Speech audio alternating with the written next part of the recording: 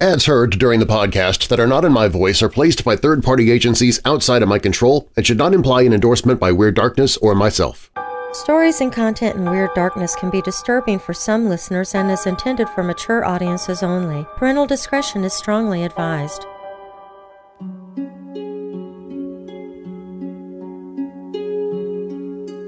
My wife and I moved to Pittsburgh, Pennsylvania in 2001. She had a family in the area, and she'd always wanted to be close to them. At first, we rented an apartment for a year while we settled into new jobs. Once the year was up and we had decided to stay in the area, we started looking for a house.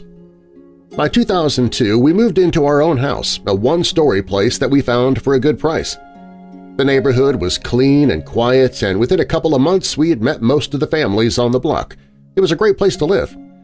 My wife and I both worked about the same hours, so except for occasional overtime, we usually arrived home around the same time. This strange incident happened to us in September of 2002. It was a weekday, around the latter part of the month. I got home first and my wife about a half hour after me. We talked for a minute, but my wife wasn't feeling too well, so she went to the bedroom to lay down. I was sitting in the living room, watching some sports.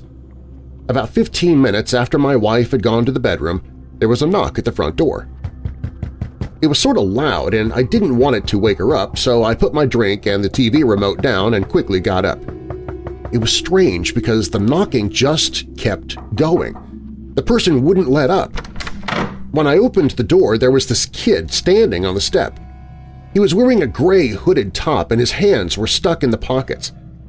I wondered for a moment how he had been knocking because his hands were in his pockets. I'd never seen this boy in the neighborhood before. He was staring straight at me, and his look was rather mean. Before I even said anything, this kid says, I want to come into your house, now. The hair on the back of my neck went up.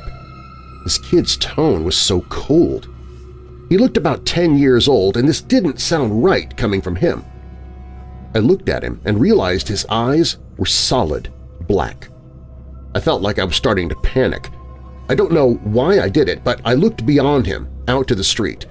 Maybe I was hoping there was someone else out there, I don't know. When I looked back at the boy, I only glanced at his face. I couldn't stand those eyes. Then I glanced down and realized I couldn't really see his feet. I know how strange this sounds. I don't really know how to explain it. It's almost like his legs just faded away.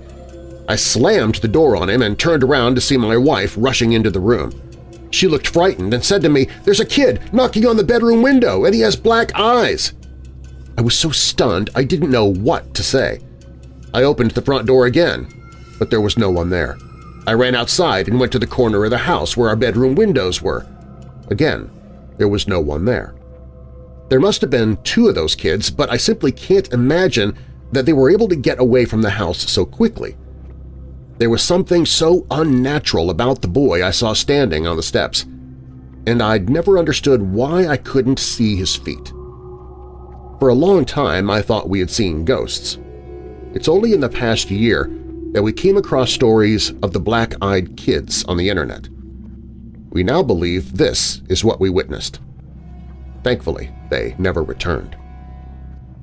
Submitted by Anonymous. I'm Darren Marlar and this is Weird Darkness.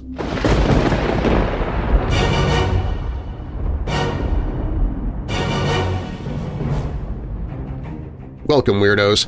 I'm Darren Marlar, and this is Weird Darkness.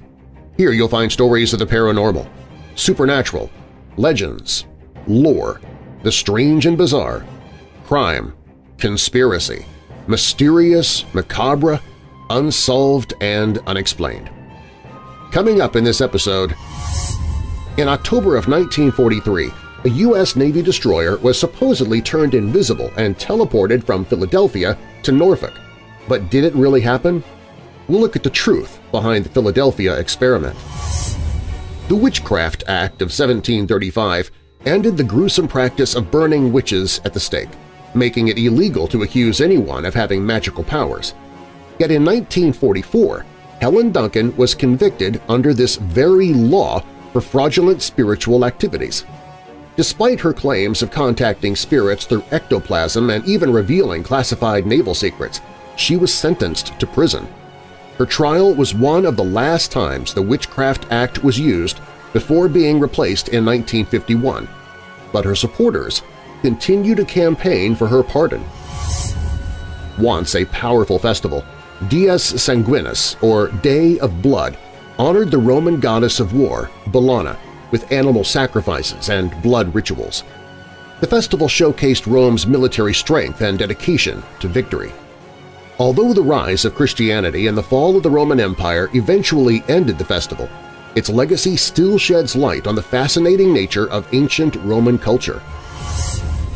The Dardeen family was found brutally murdered in their home near Ina, Illinois, leaving residents and investigators stumped. Yet even after a confession by Tommy Lynn Sells, the truth is still a mystery. But first, described as childlike beings with eerie, coal-black eyes, no iris or pupils, and pale white skin, a scourge of mysterious black-eyed children have been reported all over the world. There are hundreds of reports of black-eyed children, often seen in groups of two or more, who ask for permission to enter the person's home or vehicle. Witnesses often report an overwhelming feeling of dread and despair in their presence. What the black-eyed children seek is not known, nor is it known exactly what they are. We begin there. If you're new here, welcome to the show. While you're listening, be sure to check out WeirdDarkness.com for merchandise, to visit sponsors you hear about during the show, sign up for my newsletter, enter contests, connect with me on social media, Hear my other podcasts, including Church of the Undead and a sci-fi podcast called Auditory Anthology. Listen to free audiobooks I've narrated. Plus, you can visit the Hope in the Darkness page if you're struggling with depression, dark thoughts, or addiction. You can find all of that and more at WeirdDarkness.com. Now, bolt your doors, lock your windows, turn off your lights, and come with me into the Weird Darkness.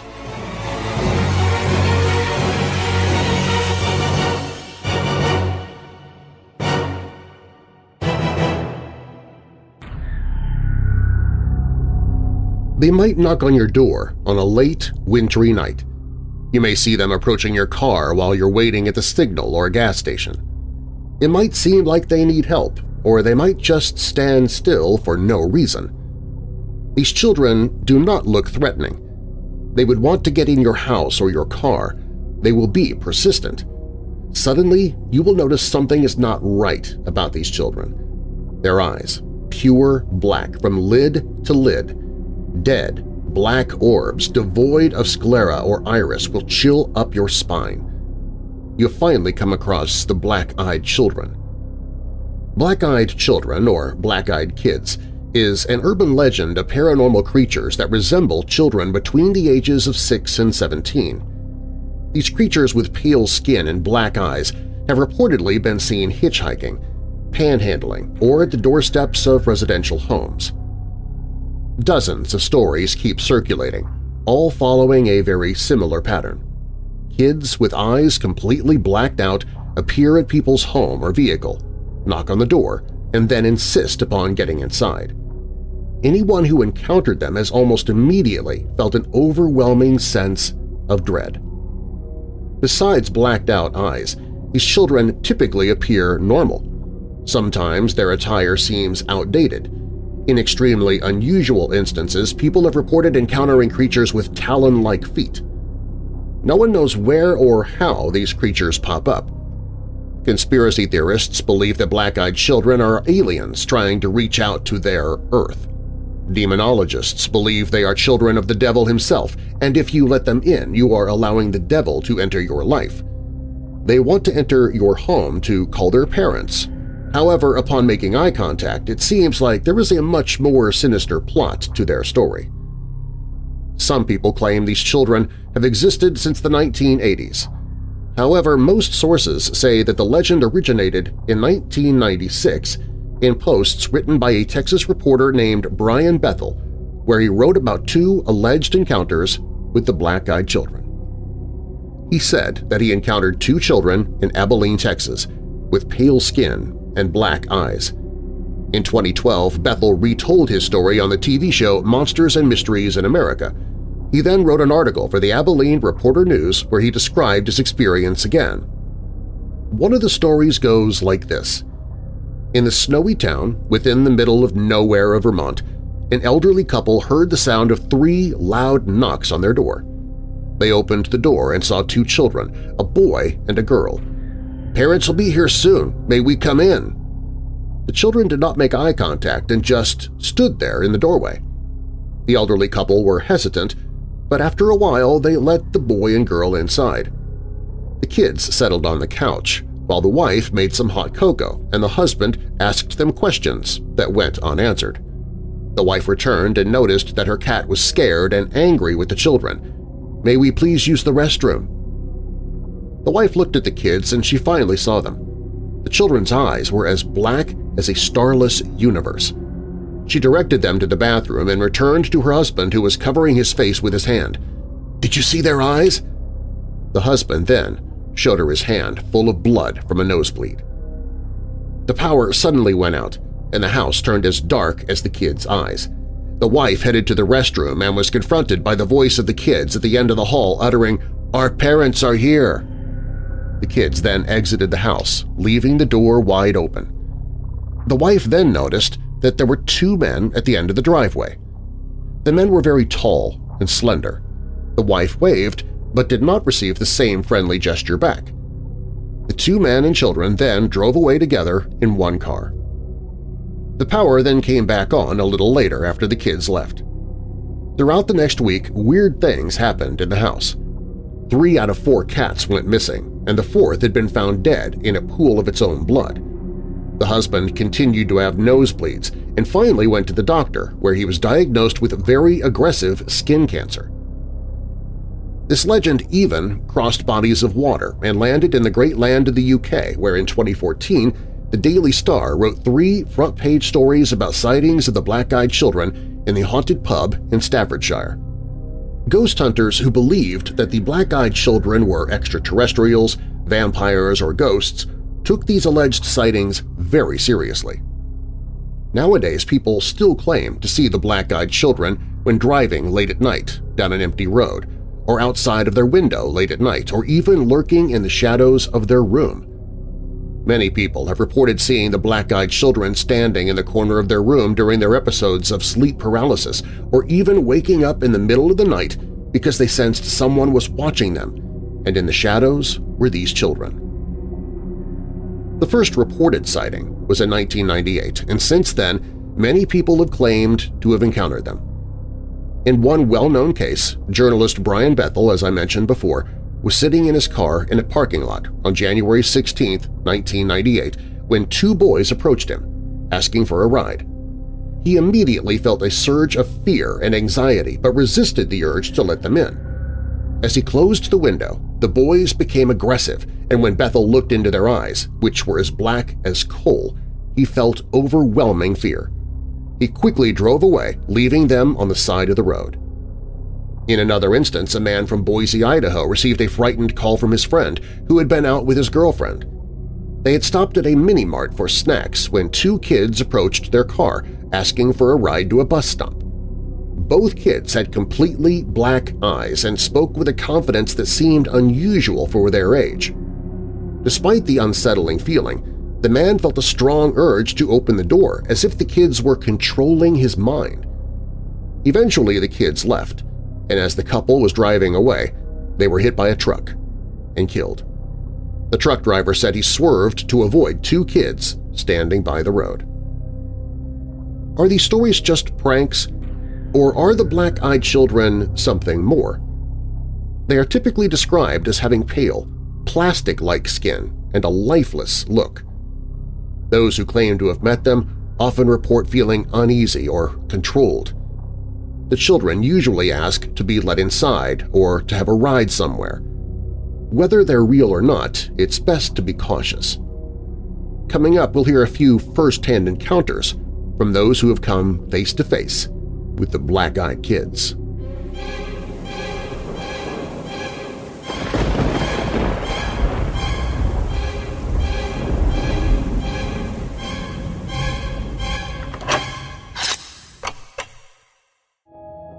There is a knock at the door late at night.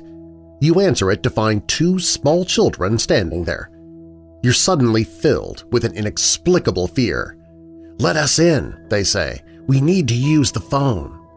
It's at that point the fear turns to utter dread as you see that these kids have completely black eyes. The Black-Eyed Kids is an exploration of this terrifying phenomenon using true stories of encounters with black-eyed kids submitted to the My Haunted Life 2 website. G. Michael Vasey examines the evidence and investigates the terrifying black-eyed kids phenomenon, coming to some startling and shocking conclusions.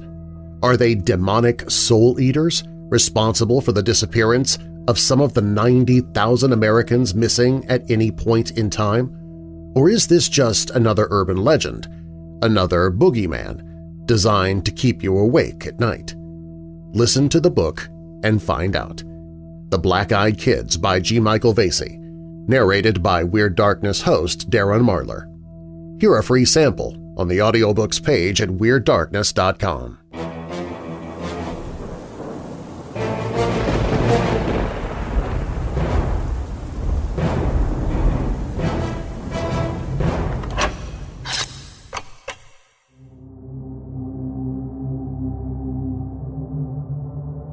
There is no shortage of people reporting their experiences with black-eyed kids.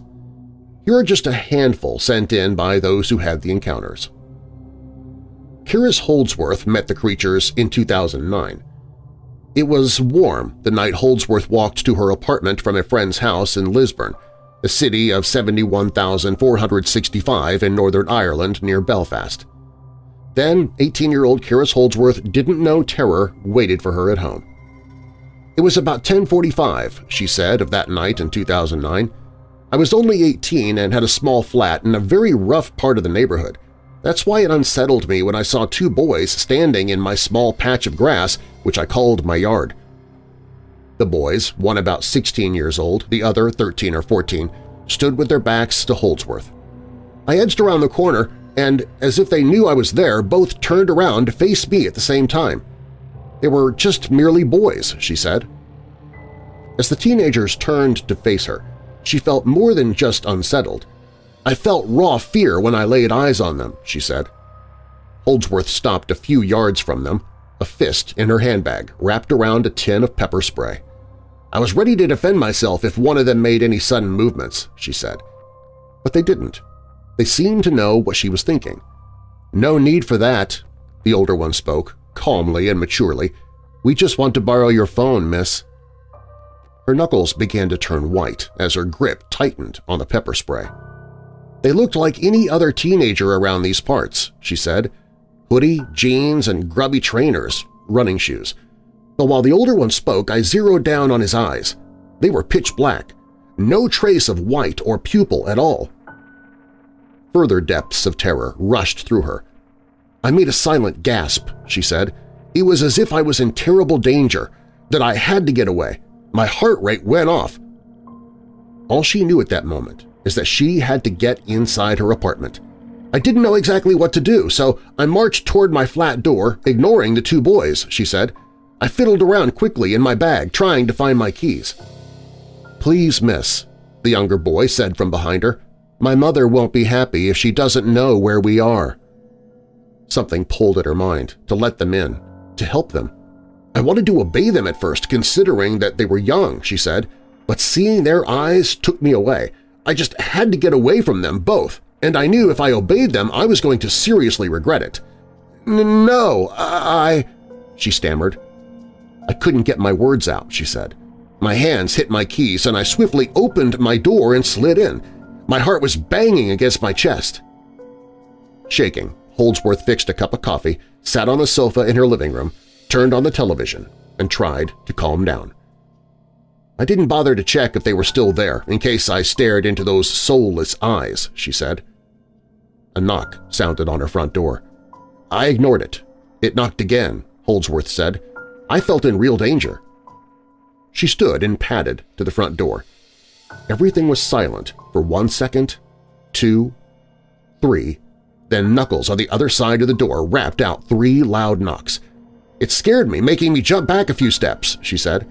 I was grateful that my door was completely made of wood. I looked through the peephole and almost died. The boys' faces filled the peephole.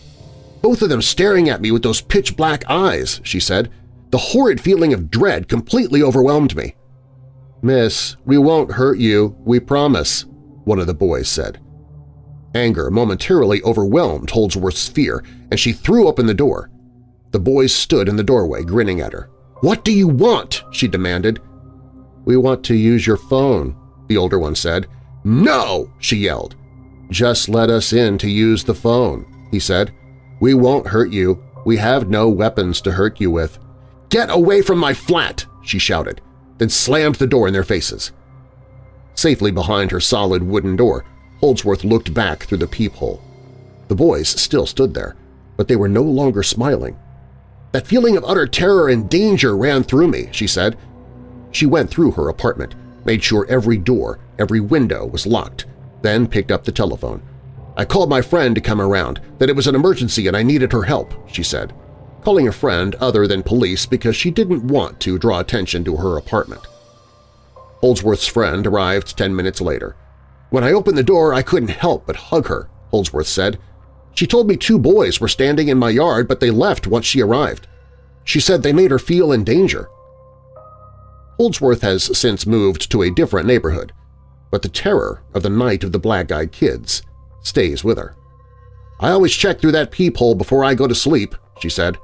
I don't know exactly what those boys were, but I do know they meant me harm and that they weren't human in any way. I still get scared thinking about it someone else's encounter. In August 2014, a woman reported an encounter with a black-eyed child after hearing deathly screams while on a walk with her daughter near the marshy countryside of Cannock Chase in the county of Staffordshire, England. My daughter and I were walking through Birches Valley when we heard the screams of a young child.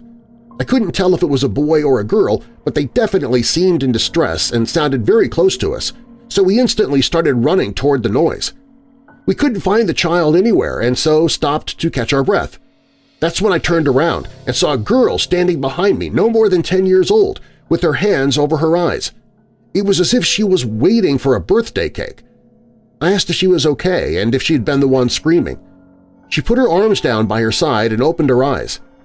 That's when I saw they were completely black, no iris, no white, nothing. I jumped back and grabbed my daughter. When I looked again, the child was gone. Another encounter with a black-eyed child was reported in Cannock Chase a month later, on September 13, 2014. My wife and I were walking through Cannock Chase near the Stile Cop with our dog. Once we had entered the woodland and the road was no longer visible, we started to hear the giggling noise of a little girl. To our amazement, a child no taller than one meter, three feet in height, appeared as if out of nowhere further up the path in front of us. We stopped dead in our tracks after noticing her eyes had no color, she stared at us for around five minutes before running away into a densely grouped area of trees.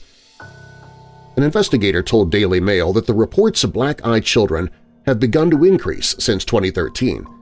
He said that during interviews with witnesses, descriptions of the black-eyed children were always similar and noted that during the past two years they've been receiving an average of one black-eyed kid report every other month. Reports of black-eyed children are nothing new in Staffordshire. They've been recorded in the area since the 1980s, including this report from journalist Lee Brickley of a black-eyed child seen by his aunt in the area. In the summer of 1982, my aunt was 18 years old, and she and her friends would often meet on Cannock Chase in the evening time.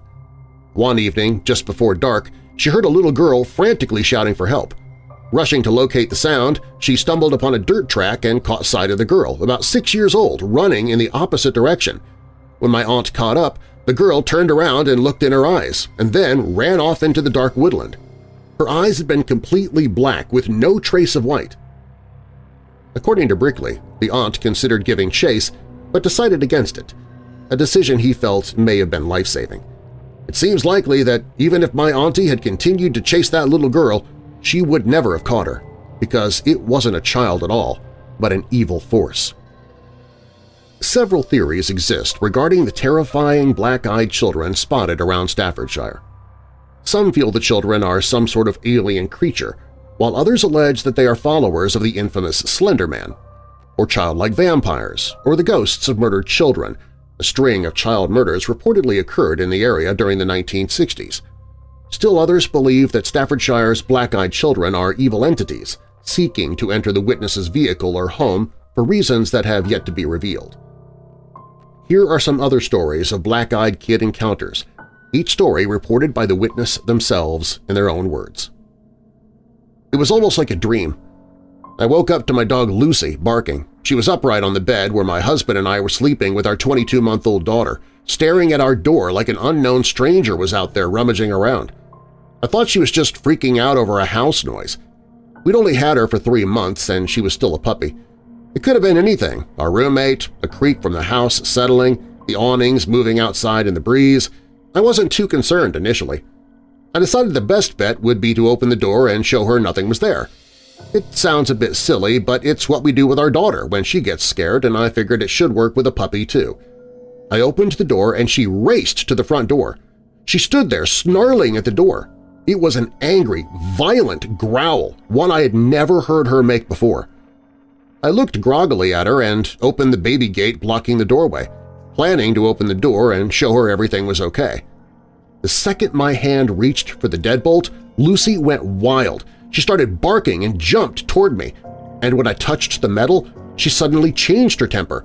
She whimpered, almost like she was afraid and backing down. As her mannerism changed, so did mine. I wasn't calm anymore. My heart was racing and sinking at the same time.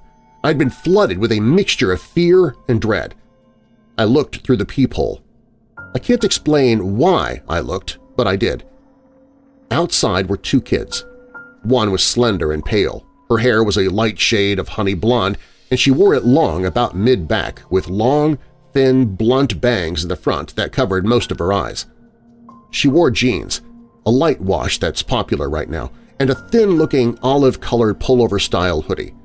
She held the hand of a small girl who looked to be around three or four, in the same style jeans and a button-down ivory cardigan. The smaller one looked at the floor shyly but had the same shade of hair, tied back in a ponytail. She held a stuffed toy under her free arm, and it was identical to the one my daughter has, as was their style of dress. Had it not been for the feeling of overwhelming dread and fear, I probably would have asked these children in and given them some tea or hot chocolate to get them out of the bitter cold. Something about them seemed off. At this point, I hadn't made any noise. I hadn't shushed the dog or grumbled, nothing. I hadn't turned on any lights. These kids had no indications I was at the door. The older one spoke. She had a voice that was mature, confident, strong, and accentless. She held her head tilted downward, and I couldn't see her eyes. She said, "'We have to use your phone.' I stood frozen in fear. How did she know I was there? She raised her head to face me directly, and that was when I saw her eyes. There was a reason I couldn't see them through her bangs before. They were black, or midnight blue, or a dark, dark purple. They were otherworldly. She said, "'Our mother is worried.' I did not answer her. Slowly and silently I backed away from the door, Lucy still cowering at my ankles. She kept talking. Just let us in to use your phone. I took another step back, and with that step the tone changed. At first she seemed polite. When I took that second step back, she became commanding, almost hostile. We're not going to hurt you. If we wanted to do that, we would have broken in. I'll ask again, may we come in and use your phone? Lucy snarled at the door and I inched backward, though something inside me seemed to be slowly pulling me back toward the door. It wasn't a physical pulling, so much as a subconscious need to go back and let them in. Another encounter. Before my experience, I had never heard of anything having to do with the black-eyed kids. I was 12. I was sitting outside of a hairdresser's in an old Chevy pickup waiting for my mom to get her hair cut. About 15 minutes had passed and I saw some kid walking back and forth along the sidewalk in front of my parked car. At first I thought I recognized him as one of my friends from school, so I banged on the front windshield until he looked my way. It was not anyone I knew. At this point I was not scared at all. Not yet. The boy walked over to the side of my car and just stares. I think to let me get a good look at his eyes, to freak me out. Let me tell you, if you have never seen a black-eyed kid, you have no idea what to imagine. Pupils black as the night sky. The boy whispers, you must let me in. And then I locked the car doors and ducked down into the space below the seats. Five minutes later, he was gone. When my mother got into the car, she told me a boy with black eyes had come into the hairdresser's and had insisted for my mother to give him the keys to the car. Another encounter. Just as I dozed off, I heard a thumping coming from the front porch. Startled at first, I opened my eyes wide and scanned the room. Realizing it was most likely my cat scratching himself on the front porch, I dozed back off. Then again, the thumping. I got out of bed to run him off the porch, only to see that he wasn't there anymore. A few minutes later, I felt the sudden urge to look up at the kitchen window. There they were, the tops of two short-statured people's heads cresting the stairs just above my window frame. The people were just short enough to not see in the window, but I could see out. Ticked off, I went out to the kitchen, unlocked and opened the door, ready to run around to the side of the house and kick some little idiot's butts. Standing there, looking up at me, were two 10- or 11-year-old boys. The feeling of dread and the smell of mold almost made me vomit. The smaller of the two then spoke. May we use your telegraph? Huh? I just stared blankly at these boys, horrified of what I then realized. Their eyes were pitch black.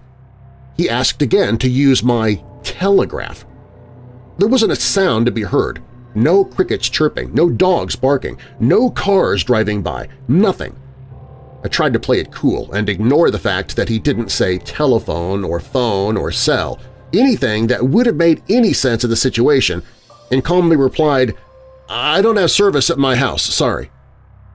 The expressions on their faces turned to rage as I finished my sentence. And the stories go on and on. I'll link to a few other episodes of Weird Darkness with more Black-Eyed Kid stories in the episode description. What could these children be? Are they ghosts? Demons, as I believe? Interdimensional beings, or something else entirely? Theories abound, but no one knows for sure. Some speculate that they are the lost souls of deceased children, trapped between worlds and seeking passage into our realm. Others believe they are malevolent entities, preying on the kindness of humans to infiltrate and wreak havoc. Encounters with black-eyed kids, or BEKs, leave individuals with an overwhelming sense of dread. Those who report these experiences often speak of an inexplicable compulsion to comply with the children's requests, coupled with a visceral reaction to flee. It's as if every instinct in their body is sounding an alarm that something is profoundly wrong. Skeptics dismiss these stories as the product of overactive imagination or hoaxes. They argue that in an age where information and misinformation can spread like wildfire, it's easy for such legends to take on a life of their own. Yet for those who claim to have come face-to-face -face with the black-eyed kids, the terror is all too real. As with all things paranormal, the truth remains elusive. The black-eyed kids lurk in the shadows of our collective consciousness, a modern boogeyman for the digital age. Whether they are mere figments of our darkest fears or harbingers of something more sinister, their legend continues to horrify. So the next time there is an unexpected knock at your door, you might want to peer through the peephole before you open it. You never know who or what might be waiting on the other side.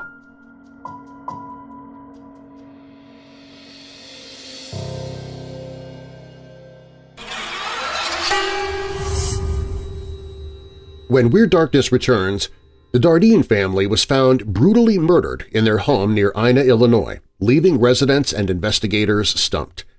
Yet even after a confession by Tommy Lynn Sells, the truth is still a mystery.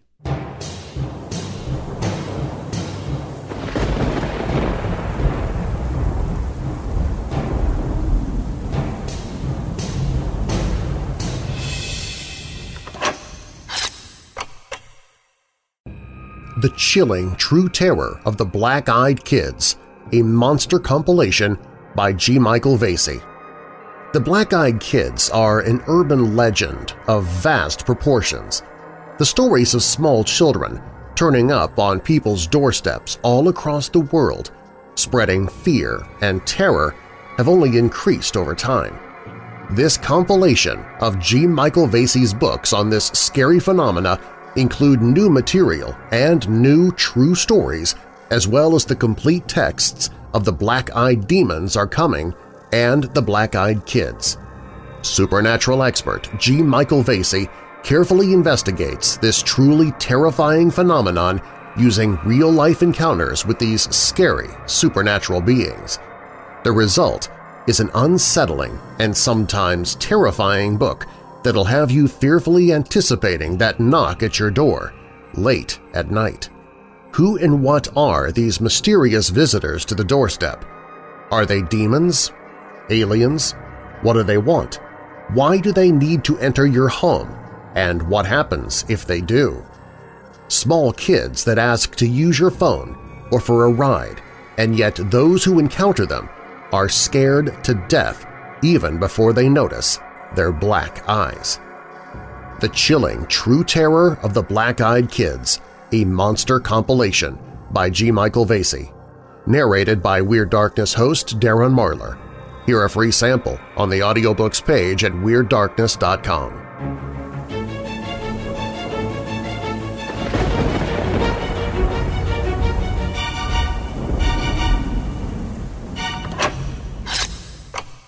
The following story is extremely graphic and refers to brutal murders including that of a child. It should not be heard by children or those who might feel this kind of content is too much for them. You can find a time guide in the episode description so you can skip to the next story if you wish. On the evening of November 18, 1987, police went to the mobile home of 29-year-old Russell Keith Dardeen and his family near Ina, Illinois. He hadn't shown up for work that day. Inside, officers found the bodies of his wife and young son, both beaten to death. Russell's wife, 30-year-old Ruby Elaine Dardeen, was pregnant and had been beaten so severely that she went into labor. Tragically, the killer or killers also beat the newborn to death. Investigators believed that these murders had happened the day before. Initially, police thought Russell was the main suspect, but the next day they found his body in a nearby field. He had been shot and mutilated, and his car was parked near a police station in Benton. An examination showed he was murdered shortly after his family. People in Jefferson and Franklin counties were terrified because over 10 other murders had already taken place in the area over the previous two years. Many people armed themselves and some suffered mentally. Rumors spread that the murders were connected to Satanists, but the police ruled that out, along with other possible motives like drug dealing, cheating, and gambling. There was no evidence of robbery or sexual assault, leaving the case a mystery. No suspects were named in the murders until the 2000s, when a serial killer named Tommy Lynn Sells confessed. He was already on death row in Texas for killing a teenage girl. However, he wasn't charged because Texas prison officials wouldn't let him leave the state to help with the investigation in Illinois. Also, the Dardeen family and police doubted his story. Keith and Elaine Dardeen both used their middle names. Keith, who grew up in Mount Carmel, bought a trailer home in 1986 after finishing the training for his job at a treatment plant near Rend Lake, Elaine, originally from Albion, moved to join him with their two-year-old son, Peter. They rented land from a farming couple nearby. Keith worked at the plant, while Elaine found a job at an office supply store in Mount Vernon. In their free time, they were part of a music team at a small Baptist church, where Keith sang lead vocals and Elaine played the piano. In 1987, Elaine became pregnant with their second child, and they had already picked out names – Ian if it was a boy and Casey if it was a girl. They wanted a bigger place for their growing family, so they put their mobile home up for sale. But that wasn't the only reason for their planned move. Keith's mother, Joanne Dardeen, said Keith told her he wanted to leave Ina even if he could not find a job elsewhere because the area was becoming too dangerous. In the previous two years, there had been 15 murders in Jefferson County. starting with the killings by Thomas Odell, who murdered his parents and three siblings in 1985. Despite some of the murderers being caught and convicted, people in the area were still scared. Keith's friend mentioned that after a 10-year-old girl was raped and murdered in May 1987, Keith became so protective that he didn't even let a young woman who came to their trailer one night use their phone. On November 18th, Keith, who was usually a dependable worker at the treatment plant, didn't show up for a shift. He didn't call his boss to explain, and phone calls to his home went unanswered all day. His supervisor contacted Keith's parents, who were divorced but still lived near each other in Mount Carmel. They didn't know where their son could be. Keith's father, Don Dardeen, called the Jefferson County Sheriff's Office and decided to drive to Ina with the house key to meet deputies at Keith and Elaine's mobile home near Illinois Route 37 and the old Illinois Central Railroad tracks. Inside, they found the bodies of Elaine, their young son Peter, and a newborn baby girl all lying in the same bed. Elaine had been tied up and gagged with duct tape and beaten to death, apparently with a baseball bat that had been a birthday gift for Peter from Keith. Elaine had been beaten so brutally that she went into labor and gave birth to the baby girl, who was also tragically beaten to death. Keith wasn't there, and his car, a red 1981 Plymouth, was missing. Investigators suspected Keith had murdered his family and was on the run. Armed police searched for him at his mother's house in Mount Carmel. However, the search ended the next day when hunters discovered his body in a wheat field near Rend Lake College. He'd been shot three times, and his genitals had been mutilated. The Plymouth was later found outside the police station in Benton, about 11 miles south of the Dardeens' home, with bloodstains inside. News of the murders made people in the area even more scared. Many began carrying shotguns in their vehicles.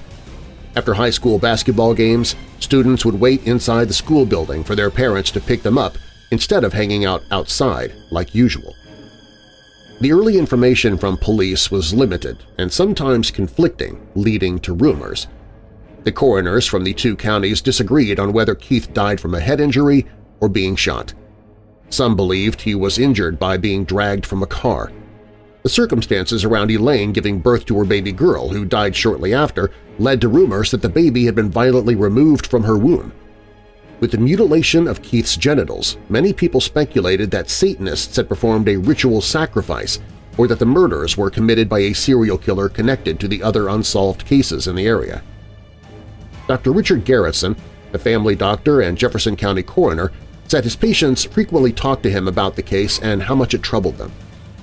One man who lived half a mile from the Dardeens trailer said that he couldn't sleep and had lost 14 pounds due to stress. The daughter of the Dardeens landlords later admitted that she kept her bedroom light on and read all night because she was so afraid. Robert Lewis, the Franklin County coroner, felt that the fear had gone too far. I don't think there's a rational basis for the near hysteria, he said, that people are frightening each other. According to him, people were so scared that if someone ran out of gas, they would not ask nearby houses to help but would walk to the highway to hitch a ride instead. Local police teamed up with the Illinois State Police to investigate the crime. Thirty detectives worked full-time following leads and interviewing around 100 people, but none of it led anywhere.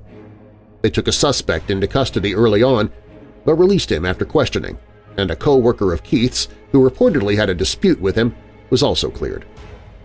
No one who knew the couple had anything negative to say about them. A small amount of marijuana was found in the trailer, but it wasn't enough to suggest that they were selling it. Police even thought it might have been left behind by the killer. The autopsies found no drugs or alcohol in any of the victims. The coroners determined that all the Dardeens died within an hour of each other. The bodies in the trailer had been killed about 12 hours before they were found, and Keith had been dead for 24 to 36 hours when his body was discovered. This timeline made it challenging to figure out what happened, since Keith's body was found far from the trailer. It was unclear if he had been killed where he was found or at the trailer with his family. At the trailer, the killer or killers had carefully arranged Elaine's body in bed with her children's bodies and had cleaned up the scene, indicating that they were not in a rush to leave. The police speculated the crime likely happened at night, given that the trailer was near a busy highway and could be seen from Interstate 57. They were also unsure if there was just one killer or several. Figuring out the motive behind the attack was especially tricky. The back door was left open, and there were no signs of forced entry. Valuable items like a VCR and a portable camera were left out in plain sight, and cash and jewelry were untouched. This ruled out robbery as the reason. Elaine hadn't been raped or assaulted either. The police also found no proof that Keith or Elaine were involved in any affairs that could have triggered a jealous rage. They wondered if Keith had gambling debts after finding a pile of papers with sports scores in the house. But Keith's mother, Joanne Dardeen, said her son was so careful with money that he would resell 50-cent sodas at work to save up for Peter's college fund. Robert Lewis, the Franklin County coroner, believed the Dardeens were specifically targeted. I believe it was a very personal, deliberate thing, he told a local newspaper. A police expert on cults said that the rumors about Satanists were not true, since those groups often mutilate bodies more severely, collect organs, and leave symbols or candles behind. None of that was found at the Dardeen home. Police admitted that the Dardeens were likely chosen on purpose, but wondered if the killers might have mistaken their identity. Joanne Dardeen later suggested other possible motives. She believed someone could have wanted Keith to sell drugs, but he refused, or that someone liked Elaine and she rejected them, causing the person to kill the family. We just don't know, she said in 1997. Eventually, the police ran out of leads and had to focus on other cases. Two FBI profilers reviewed the evidence and offered some suggestions, but the crime didn't fit their usual patterns, making it tough to analyze. Keith's mother, Joanne Dardeen, tried to keep the public interested in solving the case.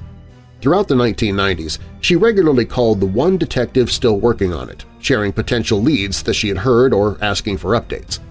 She collected 3,000 signatures from locals to petition The Oprah Winfrey Show, hoping that they would feature the case. They turned her down, saying the story was too violent for daytime TV. America's Most Wanted initially refused for similar reasons, but later aired a segment in 1998. Unfortunately, no new leads came from it. Police briefly suspected a serial killer, Angel Maturino Resendez, who was then using the alias Rafael Resendez Ramirez after he surrendered in Texas in 1999. He often traveled by hopping freight trains and targeted people living near the tracks, usually beating them to death.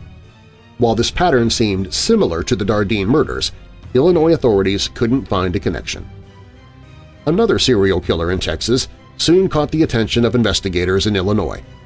On December 31, 1999, Tommy Lynn Sells cut the throats of two girls near Del Rio, Texas. One of the girls survived and helped the police identify him. He was convicted and sentenced to death for that murder and another earlier in 1999 where he had killed a girl in San Antonio. While awaiting trial, he confessed to several other murders that he had committed while traveling around the country, often by hopping trains. One of the murders he confessed to was the Dardeen family.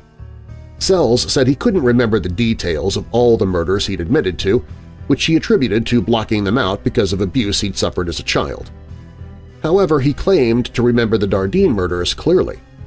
In the mid-1980s, he was living near St. Louis, about 90 miles northwest of Jefferson County, making money through various jobs, including working at fairs or day labor. He often traveled by catching rides with truckers or hopping on trains. Sells said he became familiar with the Ina area this way. He claimed that during a trip in November 1987, he met Keith at a truck stop near Mount Vernon or a local pool hall. According to his story, Keith invited Sells to his house for dinner.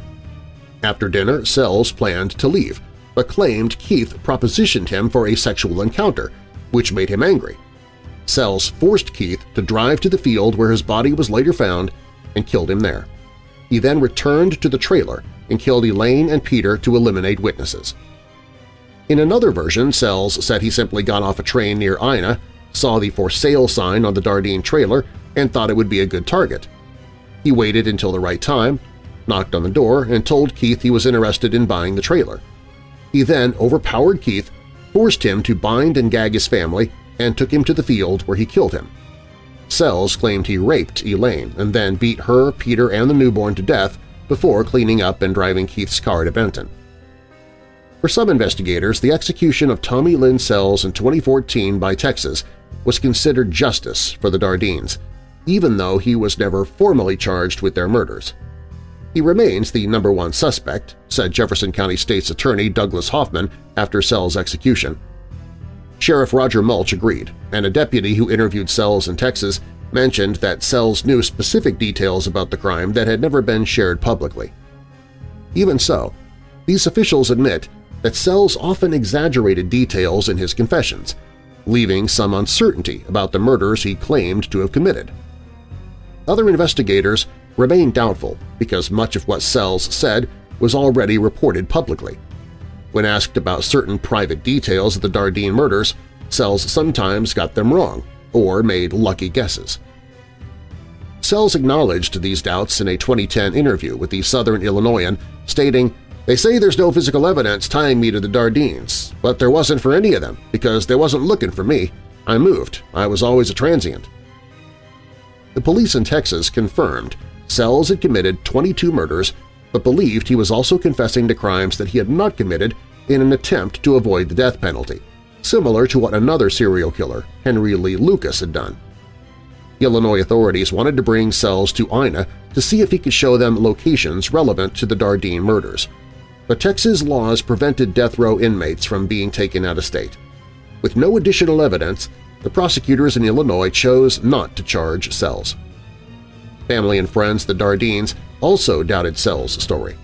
They couldn't believe that Keith would invite a stranger to dinner, especially given the recent murders in the area. A friend pointed out that Keith would not even let a young girl use their phone, so he definitely would not have invited a random 22-year-old man inside. They also found Sells' claim that Keith made a sexual advance hard to believe, as there was no evidence of that.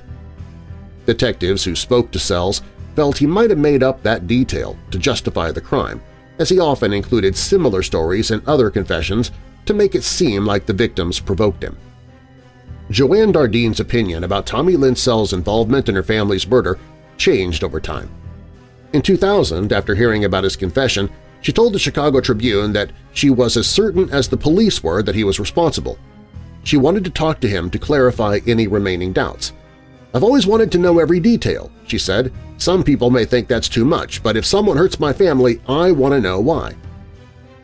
Seven years later, around the 20th anniversary of the murders, she felt 99% sure that he was the killer, but still wanted to talk to him, wondering if he had help from someone else. In 2010, Sells doubted that talking would help. Joanne wants to talk to me. If she wants to come here and talk to me, scream, yell, kick, or hit me, she should have that right, he said. But he believed that no apology would help her find peace. Sorry isn't going to fix it. I could say sorry every day and it wouldn't stop her pain. Pain doesn't just go away. The two never had that conversation. By the time Sells was executed in 2014, Joanne believed he wasn't the person who killed her family. I wanted him to stay alive until I knew for sure that he didn't do it, she told the Associated Press afterward. What he said didn't match what I know about Keith. She added, a lot of people think it's over, but to me, it's not. The case remains unsolved.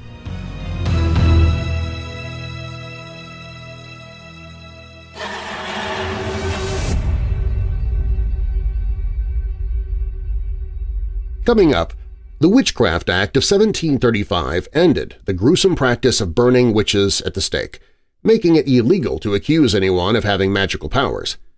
Yet in 1944, Helen Duncan was convicted under this very law for fraudulent spiritual activities. Despite her claims of contacting spirits through ectoplasm and even revealing classified naval secrets, she was sentenced to prison – her trial was one of the last times the Witchcraft Act was used before being replaced in 1951, but her supporters continued to campaign for her pardon. But first, in October of 1943, a U.S. Navy destroyer was supposedly turned invisible and teleported from Philadelphia to Norfolk. But did it really happen? The true story behind the Philadelphia experiment is up next.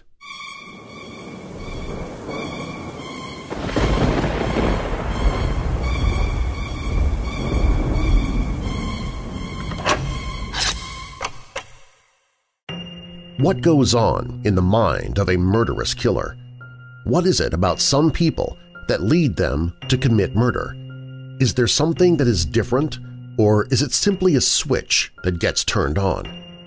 Murderous Minds – Stories of Real-Life Murderers That Escaped the Headlines offers a look into the lives of individuals who didn't just become killers, but who managed to avoid the media storm that usually accompanies them. Inside, you will hear about people like Sante Kimes, a 65-year-old mother who was driven by greed and who committed multiple murders with her son. Robert James Acremant, the MBA graduate who murdered three people in order to continue getting lap dances from a stripper that he became infatuated with. Larry Gene Ashbrook, who became deluded into thinking that strangers were accusing him of murder. When he could not take it anymore, he carried out a massacre at the Wedgwood Baptist Church, and more. Each story harbors its own distinct narrative and reasoning for the perpetrators of these heinous crimes, along with the background to the case, their lives, and the aftermath of their actions. Sometimes the truth is more appalling than anything fiction can provide, and Murderous Minds proves it once again. Murderous Minds, Volume 1 – Stories of Real-Life Murderers that Escaped the Headlines by Ryan Becker, narrated by Weird Darkness host Darren Marlar. Hear a free sample or purchase the title on the audiobooks page at WeirdDarkness.com.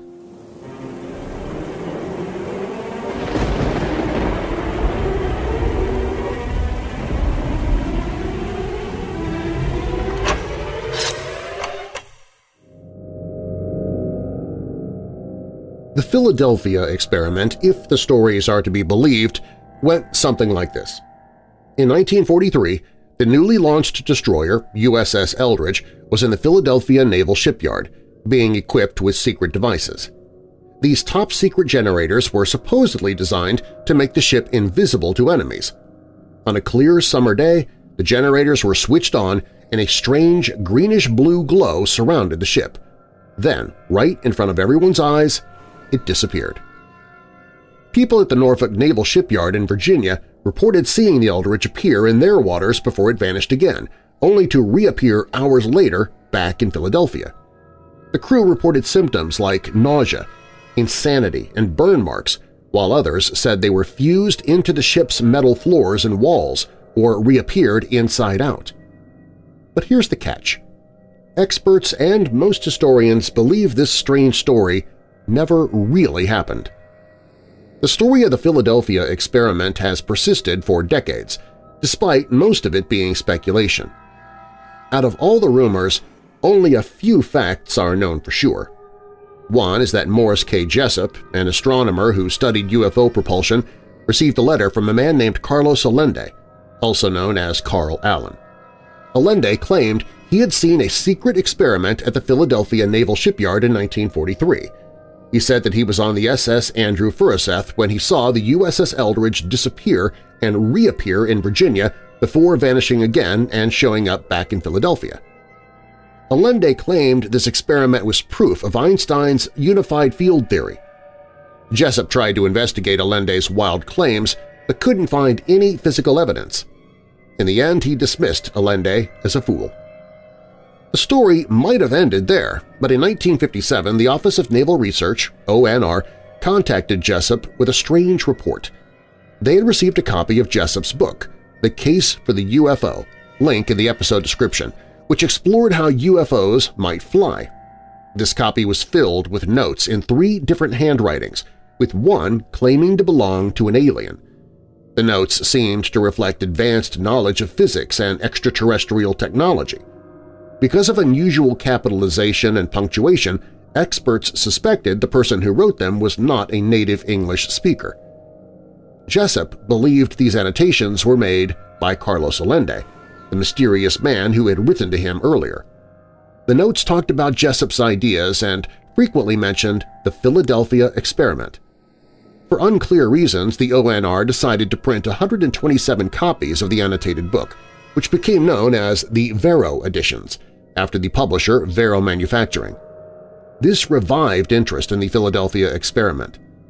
Aside from Allende's claims and the Varo annotations, all reports of the Philadelphia experiment remain unverified, often seen as a hoax or dismissed because they contradict the laws of physics. Government agencies supposedly involved insist it never happened, and no official documents have ever surfaced. The only written mention of the Philadelphia experiment is in Jessup's book, with the mysterious annotations. Over the years, the Philadelphia experiment became a popular topic among conspiracy theorists. They created different versions of the story, suggesting causes ranging from government contact with aliens to paranormal interference. But the fact that Carlos Allende was the only witness made most people skeptical. In 1988, a man named Al Bielek claimed that he also witnessed the experiment, saying he was aboard the Eldridge when it vanished and was brainwashed to forget it. He said he only remembered after seeing a movie about the experiment. Despite his story, most people still believe the Philadelphia experiment was just a hoax. Today, many people believe the explanation given by Edward Dudgeon, a former Navy electrician stationed near the USS Eldridge in the summer of 1943. Dudgeon explained that the generators installed on both the Eldridge and his ship, the USS Engstrom, were intended to make them invisible, not to the eye but to the magnetic torpedoes fired by German U-boats. This process, called degaussing, prevented the ship from being detected by enemy weapons. Dudgeon also offered logical reasons for the ship's strange greenish-blue glow and appearance in Norfolk, Virginia. He said the glow was likely caused by St. Elmo's fire, a phenomenon similar to lightning. As for the ship's quick trip between Virginia and Philadelphia, he explained that the inland canals, closed to civilians, allowed military ships to complete the journey in just six hours instead of two days. Despite Dudgeon's reasonable explanation, some still prefer the more thrilling version of the story. Without official documents to confirm what happened, there's no concrete evidence for either side. The USS Eldridge was eventually transferred to Greece and renamed the H.S. Leon, where it was used during the Cold War. In the 1990s, it was scrapped for metal.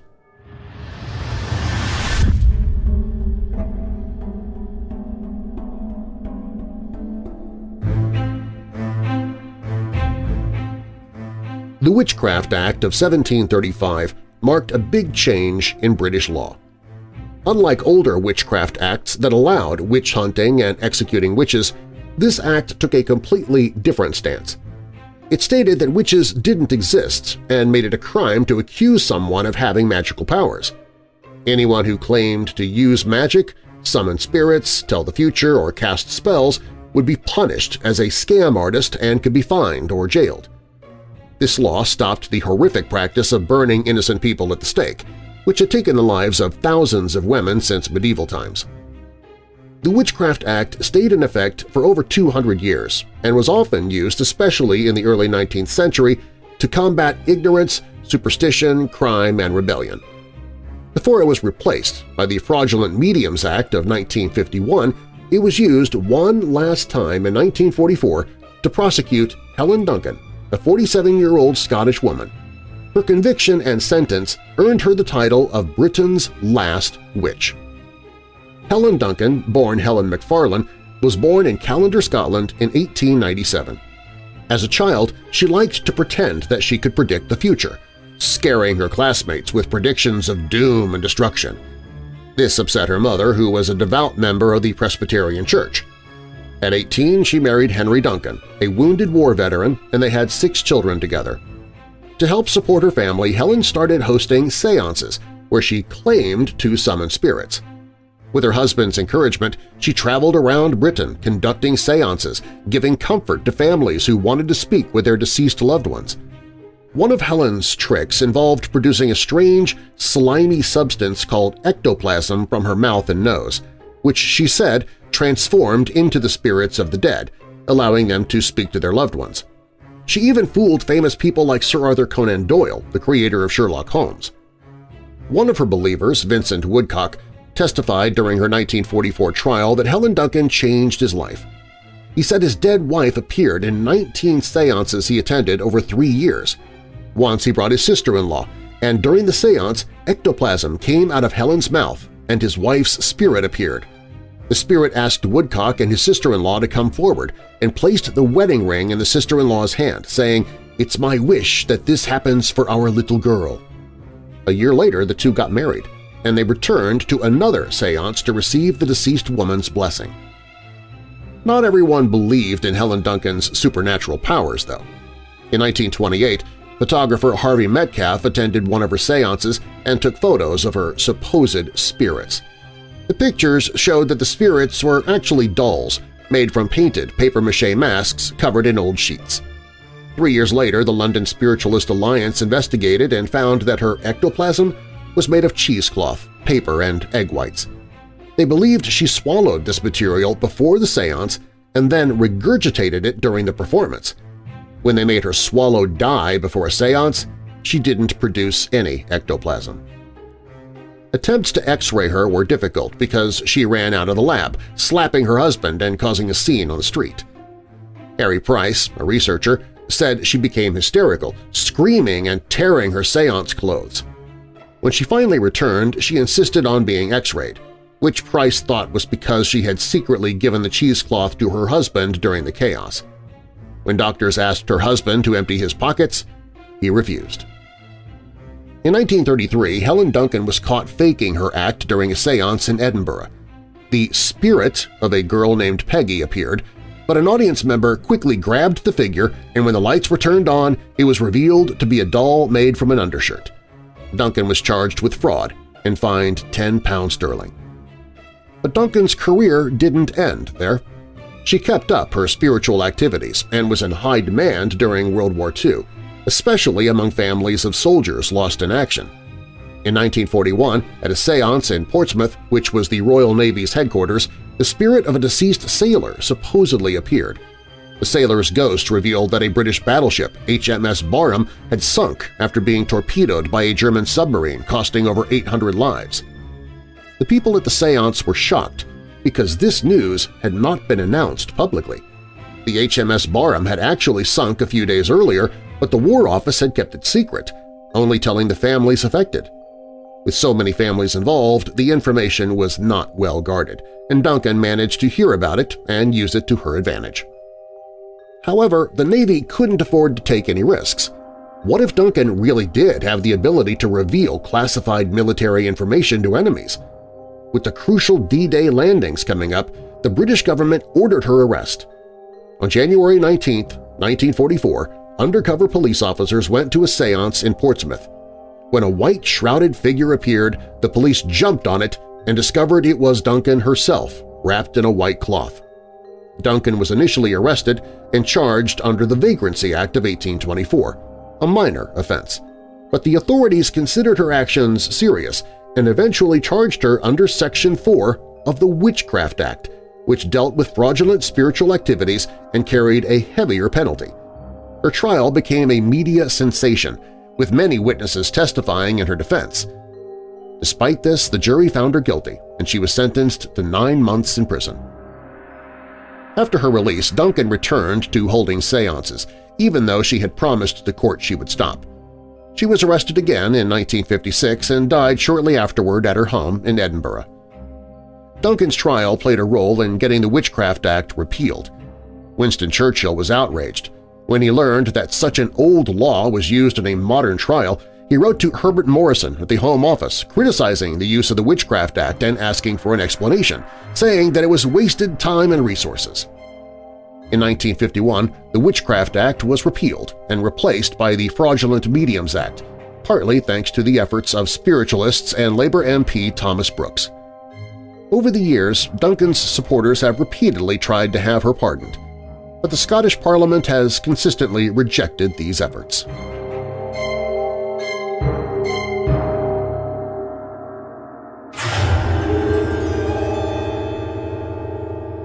Coming up, once a powerful festival, Dies Sanguinis, or Day of Blood, honored the Roman goddess of war, Bellona, with animal sacrifices and blood rituals.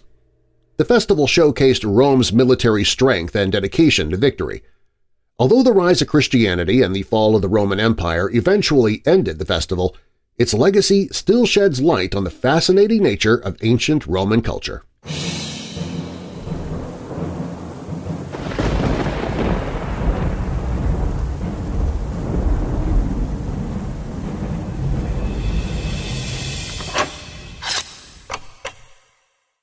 Remember staying up late at night while growing up, watching your local TV station's horror host presenting a terrible B-horror movie or so bad it's good sci-fi flick from the 1950s?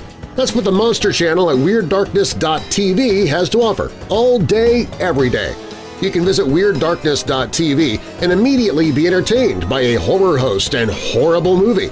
You can even invite your friends to watch with you and use the chat feature to talk about what you're watching and our monthly Weirdo Watch Party takes place there as well. Get your frights and funnies 24-7, 365 at WeirdDarkness.tv.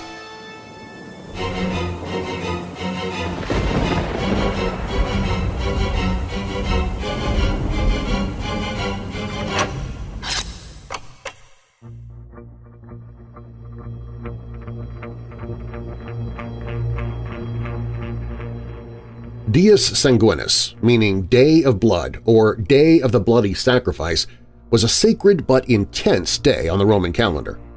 Celebrated each year, on March 24th, it was dedicated to Bellona, the goddess of war, bloodshed, and violence. On this day, Romans sacrificed animals, including bulls, in the Temple of Bellona to honor the goddess. The exact origins of Dies Sanguinis aren't well documented, but it's thought to be one of the oldest festivals in Rome possibly dating back to the early Roman Republic. Some believe it was linked to ancient agricultural practices because March 24th was considered the start of the farming year and a time for spring planting. The sacrifices may have been performed to ensure good crops and win favor with the Roman gods. Another theory ties Dies Sanguinis to the Roman military. Bellona was central to the Roman army, and her followers believed that by offering her animal blood she would ensure victory in battle and the blood of their enemies. Dies Sanguinis might have been a way for ancient Rome to show its dedication to military strength and to reinforce its identity as a warrior nation. This sacred day was used to honor the Roman army and demonstrate the people's commitment to winning wars. It was also an important day for recruiting soldiers and swearing loyalty oaths. On Dies Sanguinis, Roman priests would sacrifice animals, especially bulls, at the Temple of Bellona, which was dedicated to the war goddess. The temple was built to commemorate a military victory over the Sabines.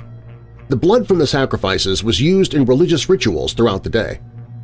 Religious and military processions marked Dies Sanguinis, including the Salii, a group of 12 priests who carried sacred shields and performed dances to show Rome's military power. These performances were a key part of the day's smaller rituals. Over time, celebrations of Dies Sanguinis became less frequent. This was due to the rise of Christianity and changing beliefs among Romans.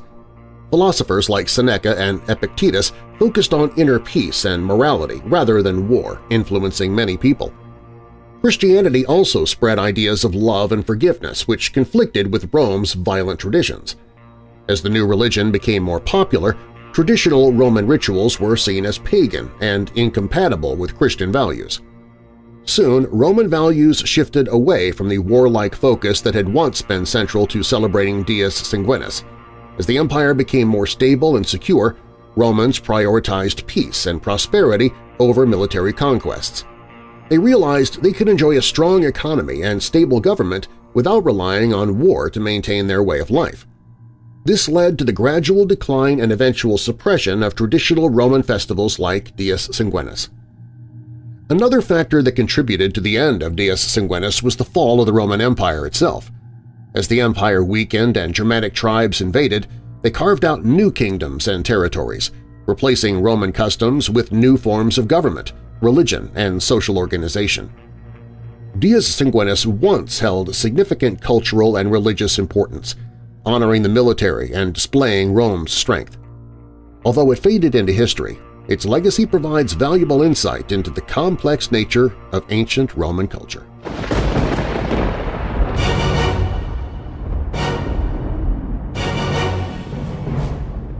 Thanks for listening. If you like the show, please share it with someone you know who loves the paranormal or strange stories, true crime, monsters, or unsolved mysteries like you do. You can email me and follow me on social media through the Weird Darkness website. WeirdDarkness.com is also where you can find information or sponsors you heard during the show, listen to free audiobooks I've narrated, get the email newsletter, find my other podcasts including Church of the Undead and a sci-fi podcast, Auditory Anthology. Also on the site, you can visit the store for Weird Darkness t-shirts, mugs, and other merchandise. Plus, it's where you can find the Hope in the Darkness page if you or someone you know is struggling with depression, addiction, or thoughts of harming yourself or others. And if you have a true paranormal or creepy tale to tell of your own, you can click on Tell Your Story.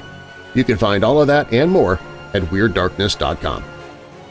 All stories in Weird Darkness are purported to be true unless stated otherwise, and you can find links to the stories, authors, and sources I used in the episode notes. Weird Darkness is a registered trademark. Copyright Weird Darkness. And now that we're coming out of the dark, I'll leave you with a little light. Psalm 34, verse 18 The Lord is close to the brokenhearted and saves those who are crushed in spirit. And a final thought. Defeated is the man sitting down afraid to get up and take a step. It's better to stay sitting down and defeated than try to get up and walk. The winner is the man jumping up to run even though he will trip and fall. He keeps getting up to run. One day he will cross that finish line and stand in victory at the end. The winner is the man not afraid to try and try and try. Janice Harris I'm Darren Marlar. Thanks for joining me in the Weird Darkness.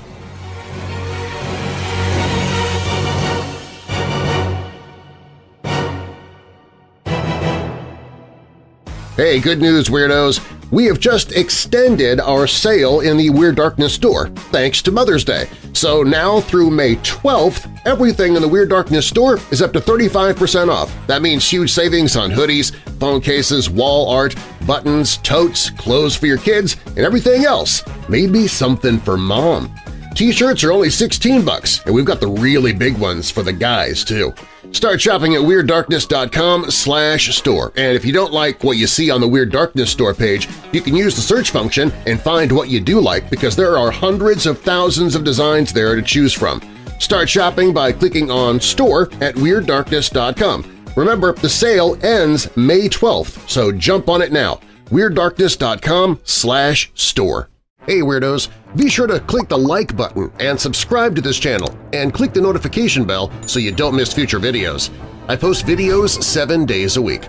And while you're at it, spread the darkness by sharing this video with someone you know who loves all things strange and macabre. If you want to listen to the podcast, you can find it at WeirdDarkness.com listen.